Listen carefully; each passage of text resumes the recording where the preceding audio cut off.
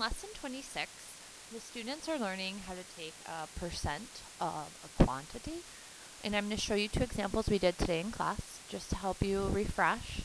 Five of the 25 girls on Aiden Middle School, Alden, I'm sorry, middle school soccer team are seventh graders. Find the percentage of seventh graders on the team. show two different ways of solving for the answer. One of the methods must include a diagram, a picture, or picture model. I'm going to do the first one as a picture, and I'm going to do my tape diagram. Okay? It says five of the 25 girls on Alden Middle School soccer team are seventh graders.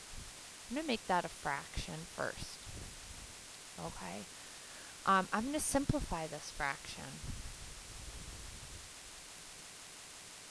It is one fifth. Okay, so in my tape diagram, I'm going to split my tape into five sections. On the bottom, I'm going to put my percentages 0 to 100%. Since I took uh, my tape uh, and split it into 5, I'm going to take 100 and divide it into 5 equal sections. 100 divided by 5 is 20, so 20%, 40%, 60%, 80%, and 100%. Okay? Now I'm going to put, now you have to understand your part of the total. Okay? These are how many are 7th graders. This is your total on your team. So this 5 is going over here. Okay? And I'm going to split the 5 into 5 boxes. So it's one, two three, four, five. Okay, and it says one of one of the soccer players out of every five is a seventh grader. Okay, and that would equal 20%. Okay, that is one way to do it with a tape diagram. Okay, the second way is to use labeled equal fractions. You have your seventh graders, you have your total. Five seventh graders for every 25 for every 25 people on the team. You want to change that to a percent out of 100. Let's scale 25 up. Okay, 25 times 4 is 100. Whatever you do to the bottom, you must do to the top. 20 out of 100 or 20% of the soccer players on the team are 7th graders. Okay? Hopefully that was a good example, but let's try another one. Okay? Of the 25 girls on the Alden Middle School team, 40% also play on a travel team. How many of the girls on the middle school team also play on a travel team? I'm going to show this two ways too.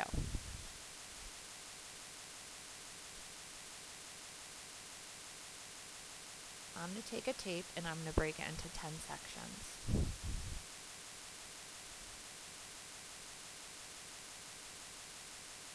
And on the bottom, I'm going to put my percentages. Okay, 0% to 100%. Okay. 25 is my total here. 40% of the girls also play on the travel team. Okay. So now this is a good one for me to do with you actually because now that I've put 25 here, I can't really divide 25 by 10. I can. Let me show it to you. 25 divided by 10 boxes is going to give you a decimal. Okay, you would be counting by 2.5. So it would be 2.5, 5, 7.5, um, 10, 12.5, 15, 17.5, 20, and then this one would be 22.5 and 25, okay? That's doable, okay?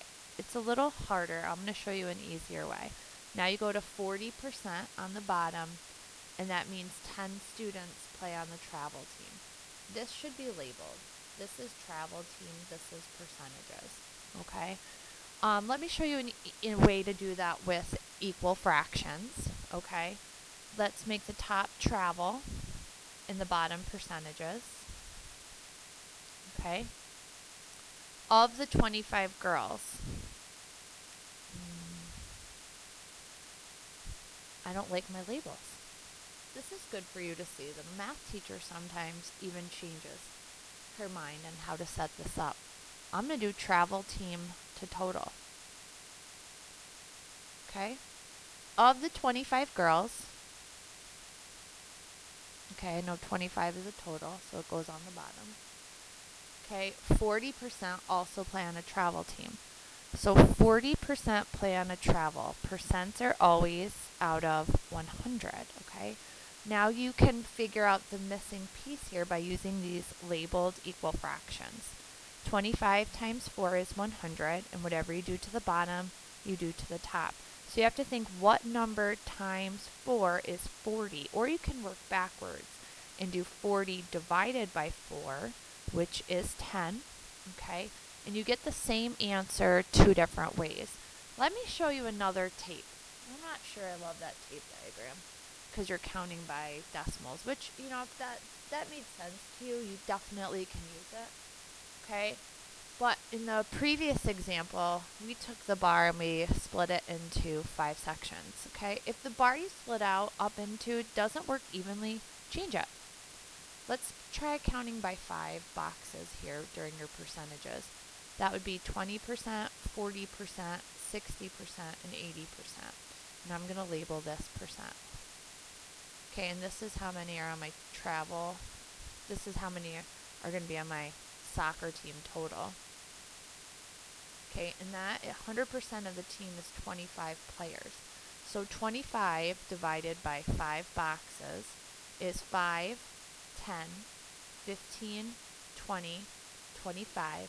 40% of them play on a travel team Okay, so you're going to go to 40% and that is going to give you an answer of 10. This might seem a little easier than the counting by the decimals. I hope this was a good preview of lesson 26.